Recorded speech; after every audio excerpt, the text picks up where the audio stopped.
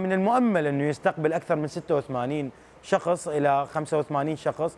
حتى بالتالي أنه نحاول قدر الإمكان انه يكونون بمحاجر فردية. طبعا الحجر راح يكون مجهز بعدة أمور آه، تناسب أو تليق بالمحجور الوافد. أقلها أنه تكون المساحة هي عبارة عن 6 أمتار ونص مربعة وتقدم إلى بعض الخدمات قد ترتقي إلى الخدمات الفندقية. يا قميص شافي دعبغوا على ذاك الممر.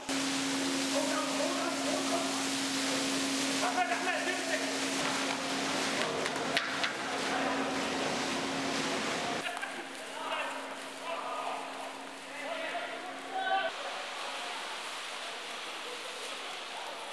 بعد دخول جائحة كورونا على المحافظة بعد مرور ثلاثة أشهر من وجود الفيروس بالمحافظة لاحظنا أنه الحكومة المحلية لحد هاي اللحظة ما قدرت توفر الحجر المناسب والعزل المناسب للوافدين وللمصابين بالفيروس، فإحنا كشباب ارتئينا أنه كفرق تطوعية وكشباب متطوعين من محافظة نينوى ارتئينا أنه نوفر الحجر والعزل المناسب للوافدين إلى المدينة.